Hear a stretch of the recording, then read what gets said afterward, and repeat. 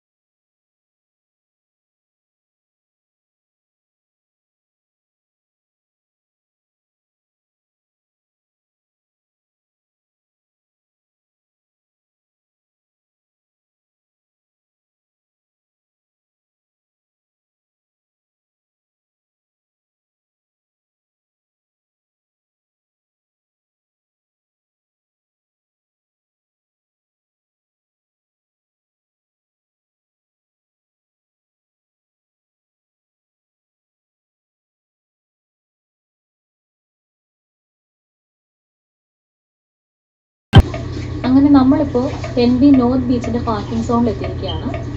Twenty four അവേഴ്സിലേക്ക് ഇവിടുത്തെ parking fees വെറും നാല് പൗണ്ട് മാത്രമേ ഉള്ളൂ. അഞ്ച് മണിക്കൂർ നേരത്തേക്കാണെങ്കിൽ മൂന്ന് പൗണ്ട് മാത്രം. പാർക്കിങ്ങിന്റെ സൈഡിലുള്ള ഈ സ്റ്റെപ്പുകൾ മുകളിലുള്ള ഒരു റോഡിലേക്കാണ് എത്തുന്നത്. നമ്മളിവിടെ മിനിമം ഒരു അഞ്ച് അഞ്ച് മണിക്കൂറെങ്കിലും ചിലവഴിച്ചാൽ മാത്രമാണ് നമ്മൾക്ക് ഈ ബീച്ചിന്റെ മുഴുവൻ ഭംഗിയും ആസ്വദിക്കാൻ പറ്റത്തുള്ളൂ. സ്റ്റെപ്പുകൾ വഴി മുകളിലേക്ക് എത്തുമ്പോൾ അവിടെയും കുറച്ച് പാർക്കിംഗ് സൗകര്യമുണ്ട്. ആ റോഡ് ക്രോസ് ചെയ്ത് കഴിഞ്ഞാൽ ടെൻ ബി നോർത്ത് ബീച്ചിലേക്കുള്ള സ്റ്റെപ്പുകൾ താഴേക്ക് കൊടുത്തിരിക്കുന്നതായി നമുക്ക് കാണാം. റോഡിൽ നിന്നും വളരെ താഴ്ന്നിട്ടാണ് ഈ ബീച്ച് ഉള്ളത്. അതുപോലെ തന്നെ അവിടെ നിന്ന് നോക്കുമ്പോൾ കാണുന്ന ടെൻ ബി നോർത്ത് ബീച്ചിന്റെ അതിമനോഹരമായ ഒരു വ്യൂ ആണ് നമുക്കിപ്പോൾ ഇവിടെ കാണാൻ പറ്റുന്നത്.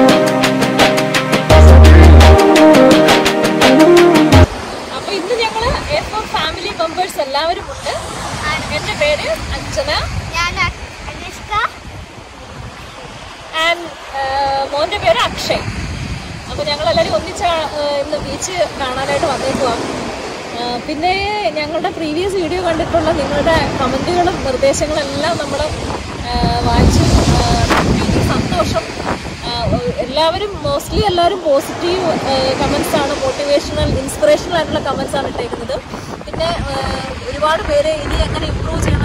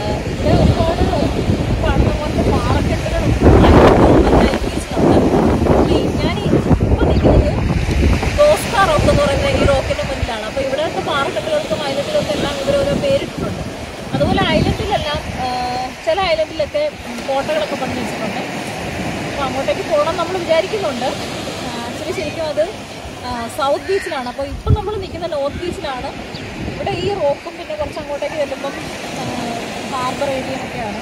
അവിടെ ബോട്ടുകളും ഒക്കെ ടേക്കിങ്ങൊക്കെ നമുക്ക് കാണാം. അങ്ങോട്ട് പോകുന്നവർ നമുക്ക് കാണാം കാഴ്ചകളൊക്കെ. ഇത് കഴിഞ്ഞ് അപ്പുറത്ത് ചെല്ലണം സൗത്ത് ബീച്ചിലെത്താൻ അവിടെയാണ് സെന്റ് ഗ്യാദറിൻ ഐലൻഡ് എന്ന് പറഞ്ഞൊരു ഐലൻഡ് ഉണ്ട്. അവിടെ നമുക്കൊരു ക്യാസിലൊക്കെ ഉണ്ട്. ആ ഐലൻഡിന്റെ മുകളിൽ ക്യാസിലിൽ എത്തണം എന്നാണ് നമ്മളുടെ ഇന്നത്തെ പ്ലാൻ അപ്പോൾ നമ്മൾ ഇപ്പോൾ കാണുന്നതാണ് ഹാർബർ ബീച്ച് അധികം തിരമാലകൾ ഇല്ലാത്തത് കൊണ്ട് തന്നെ കൊച്ചു കുട്ടികൾക്ക് പറ്റിയ സ്ഥലമാണിത്. പിന്നെ ഇവിടെ നമുക്ക് കാണാം കുറച്ച് ഫിഷിംഗ് ബോട്ടുകൾ നങ്കൂരം നങ്കൂരമിട്ടിട്ടുണ്ട് ഈ ഹാർബറിനോട് ചേർന്ന് തന്നെയാണ് സെന്റ് ജൂലിയസ് ചാപ്പൽ ഉള്ളത്. നമ്മളിപ്പോൾ കണ്ടത് പഴയ ലൈഫ് ബോട്ട് സ്റ്റേഷനാണ് ആയിരത്തി എണ്ണൂറ്റി അൻപത്തിരണ്ട് മുതൽ ലൈഫ് ബോട്ട് സ്റ്റേഷൻ ഇവിടെ പ്രവർത്തിച്ചു വരുന്നുണ്ട്. ആയിരത്തി തൊള്ളായിരത്തി അഞ്ചിൽ നിർമ്മിച്ച ആ പഴയ ലൈഫ് ബോട്ട് സ്റ്റേഷൻ ഒരു പ്രൈവറ്റ് റെസിഡൻസ് ആയിട്ടാണ് അവരിപ്പോൾ ഉപയോഗിക്കുന്നത്. ഈ കാണുന്നതാണ് നിലവിൽ പ്രവർത്തിച്ചു വരുന്ന ലൈഫ് ബോട്ട് സ്റ്റേഷൻ ഇത് രണ്ടായിരത്തി അഞ്ചിലാണ് പ്രവർത്തനം ആരംഭിച്ചത്. റോയൽ നാഷണൽ ലൈഫ് ബോട്ട്സിന്റെ അണ്ടറിലാണ് ഇതിപ്പോൾ പ്രവർത്തിച്ചു വരുന്നത്. പതിനൊന്ന് മണി മുതൽ മൂന്ന് മണി വരെയാണ് ഇതിനുള്ളിലേക്കുള്ള പ്രവേശന സമയം. സൺഡേയിൽ അവധിയാണ്. പ്രവേശനം സമ്മർ ടൈമിൽ സൗജന്യമാണ്. എന്നിരുന്നാലും നമുക്ക് പണം സംഭാവന എന്ന നിലയിൽ നൽകാവുന്നതാണ്.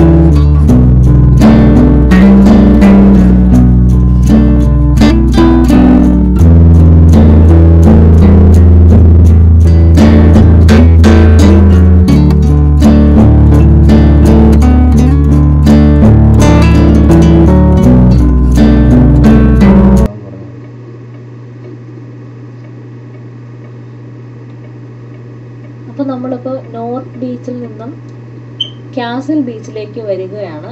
ഇതാണ് കാസിൽ ബീച്ചിലിന്റെ എൻട്രി ഈ കാണുന്നതാണ് സെന്റ് ഗാദറിൻ ഐലൻഡ് ഇതിന്റെ മുകളിലാണ് സെന്റ് ഗാദറിൻ ഫോർട്ട് ഉള്ളത്. നമുക്ക് അവിടെയാണെന്ന് ചെല്ലേണ്ടത്.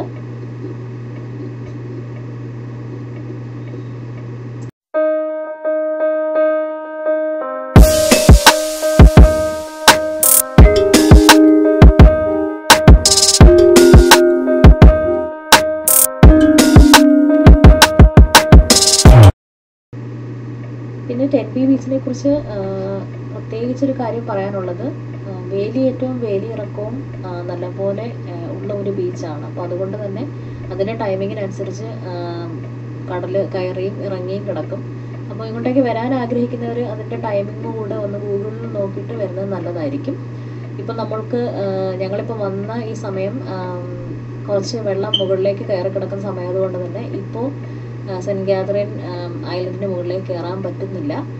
അപ്പോൾ അതിന് നമ്മൾ കുറച്ച് നേരം വെയിറ്റ് ചെയ്യണം. അപ്പോൾ ആ സമയത്ത് നമുക്ക് സൗത്ത് ബീച്ചിന്റെ ഭംഗികളും കാഴ്ചകളും ഒക്കെ ആസ്വദിക്കാം. ഒന്നര മൈൽ നീളത്തിൽ പരന്നു കിടക്കുന്ന ബീച്ചാണ് സൗത്ത് ബീച്ച് ഇവിടെ നിറയെ പാറക്കെട്ടുകളും മനോഹരങ്ങളായ ഗുഹകളും കാണാൻ സാധിക്കും.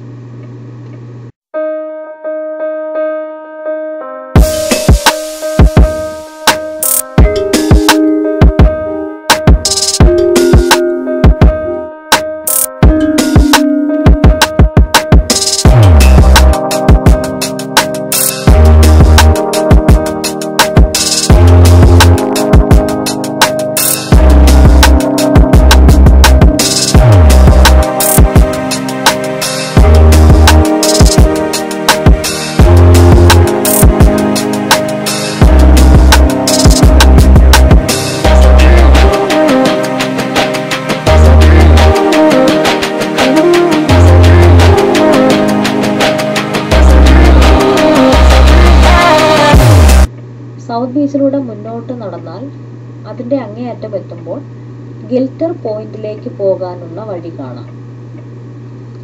മരങ്ങൾ തിങ്ങി നിറഞ്ഞ വഴിയിലൂടെ മുന്നോട്ട് ചെന്നാൽ നമുക്ക് ഗിൽറ്റർ പോയിന്റിൽ എത്താം. കുട്ടികൾക്ക് കുറച്ച് റിസ്കി ആയിട്ടുള്ള സ്ഥലമാണിത്. ഈ ഗിൽറ്റർ പോയിന്റിൽ നിന്നാൽ മറ്റ് ഐലൻഡുകളായ കാൽഡി ഐലൻഡും സെന്റ് മാർഗരറ്റ് ഐലൻഡും നമുക്ക് വളരെ വ്യക്തമായി കാണാൻ സാധിക്കും.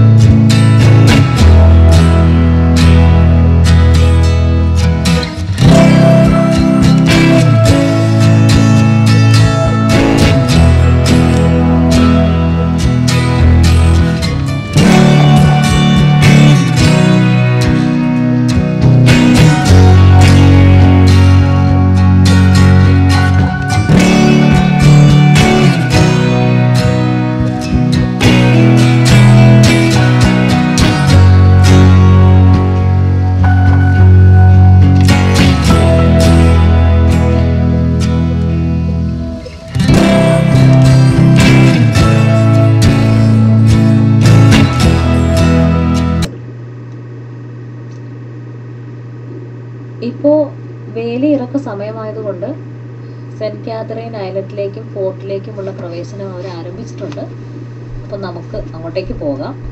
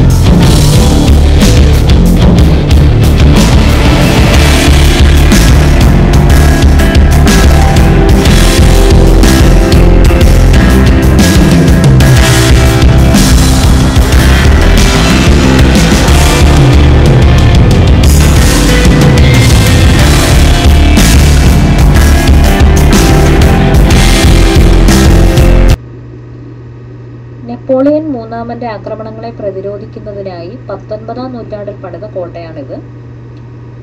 കോട്ടയ്ക്കുള്ളിലെ ഒരു ഭാഗത്തേക്ക് മാത്രമേ പ്രവേശനമുള്ളൂ. പഴയ കാലത്തെ ചിത്രങ്ങൾ ഇവിടെ പ്രദർശിപ്പിച്ചിട്ടുണ്ട്. കൂടാതെ തന്നെ ഈ കോട്ടയുടെ ചരിത്രങ്ങൾ അടങ്ങുന്ന ഒരു സ്ലൈഡ് ഷോ വിസിറ്റേഴ്സിനായിട്ട് അവർ അറേഞ്ച് ചെയ്തിട്ടുണ്ട്.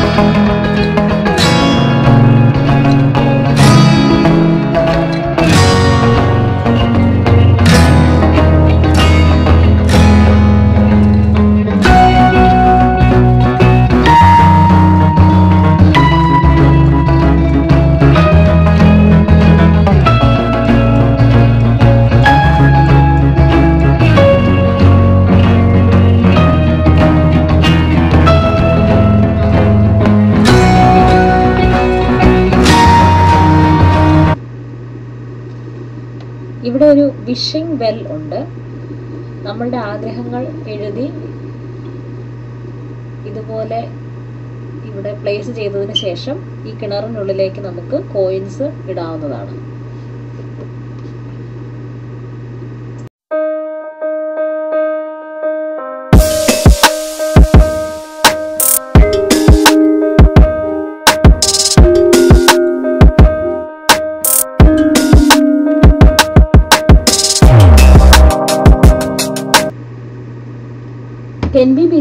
മറ്റൊരു അട്രാക്ഷൻ എന്ന് പറയുന്നത് ഇവിടുത്തെ ബോട്ടിംഗ് സർവീസ് ആണ്. ഓൺലൈൻ ടിക്കറ്റിംഗ് ആണ് ഇവർ പ്രിഫർ ചെയ്യുന്നത്. പക്ഷേ ഓൺലൈനിൽ എടുക്കാൻ സാധിക്കാത്തവർക്ക് ഇവിടെ ടിക്കറ്റ് കൗണ്ടറിൽ നിന്നും ടിക്കറ്റ് എടുക്കാവുന്നതാണ്. ഇവിടെ നിന്ന് ക്യാഡ്ലി ആൻഡ് സെന്റ് മാർഗ്രേറ്റ് ഐലൻഡിലേക്കുള്ള ടിക്കറ്റുകൾ അവൈലബിൾ ആണ്. അതായത് ഈ ഐലൻഡുകൾ കടലിനുള്ളിലാണ്. അപ്പോൾ നമുക്ക് ബോട്ട് സർവീസ് വഴി നമുക്ക് ആ ഐലൻഡുകളും കാണാൻ സാധിക്കുന്നതാണ്. ഏതൊക്കെ സർവീസുകളാണ് ഇവിടെ ഉള്ളതെന്ന് വെച്ചാൽ സീൽ സഫാരി അത് ഒരു മണിക്കൂർ ദൈർഘ്യമുള്ളതാണ്. ഐലൻഡ് റേഞ്ചർ ഒന്നേകാൽ മണിക്കൂർ എടുക്കും. റിപ്പ് റൈഡ്സ് അതും ഒരു മണിക്കൂർ. ഇങ്ങനെ മൂന്ന് റൈഡുകളാണ് ഇവിടെ നിന്ന് സർവീസ് ചെയ്യുന്നത്. അതിൽ ഞങ്ങൾ സെലക്ട് ചെയ്തത് സീൽ സഫാരിയാണ്. പിന്നെ ടിക്കറ്റ് ചാർജ് അഡൾട്ട് അഡൾട്ടിന് ട്വന്റി പൗണ്ട്സ് ആണ്. കുട്ടികൾ അണ്ടർ സിക്സ്റ്റീൻ ആണെങ്കിൽ ട്വൽവ് പൗണ്ട്സുമാണ് ചാർജ് കാലാവസ്ഥ പ്രതികൂലമാണെങ്കിൽ ഈ റൈഡുകൾ ക്യാൻസൽ ആകാനുമുള്ള സാധ്യതയുണ്ട്.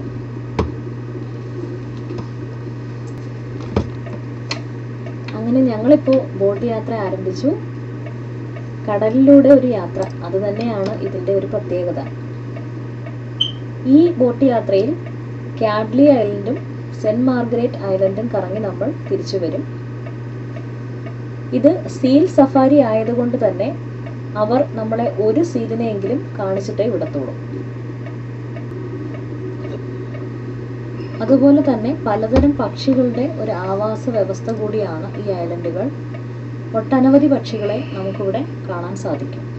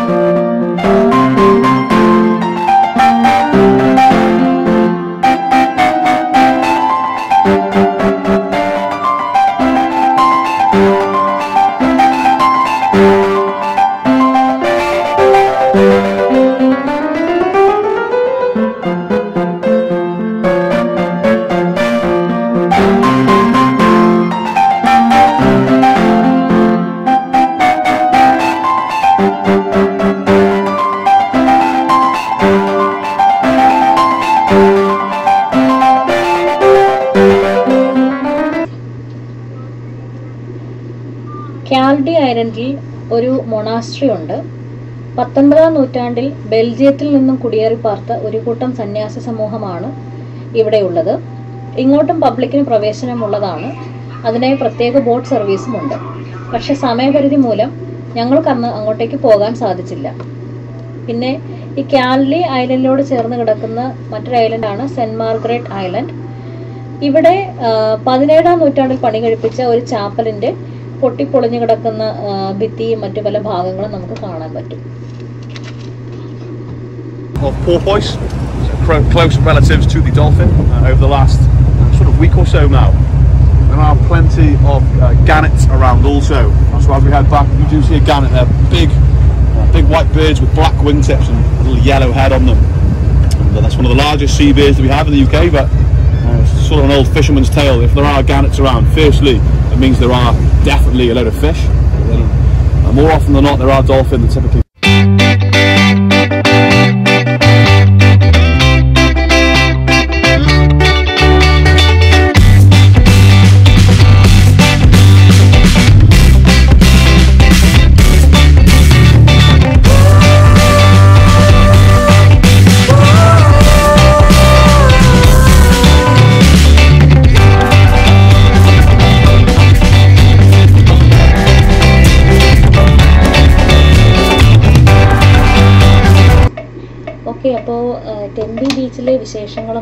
കാഴ്ചകളും കൗതുകങ്ങളും സീൽ സഫാരി ബോട്ടിങ്ങും എല്ലാം നിങ്ങൾ നല്ലപോലെ എൻജോയ് ചെയ്തെന്ന് ഞങ്ങൾ കരുതുന്നു. എപ്പോഴത്തെയും പോലെ തന്നെ ഇനിയും നിങ്ങളുടെ സപ്പോർട്ട് നമ്മൾ ഒത്തിരി ഒത്തിരി പ്രതീക്ഷിക്കുന്നുണ്ട്. അപ്പോൾ വീഡിയോസ് കാണുക ഷെയർ ചെയ്യുക സബ്സ്ക്രൈബ് ചെയ്യുക അങ്ങനെ സപ്പോർട്ട് തരിക. Thank so much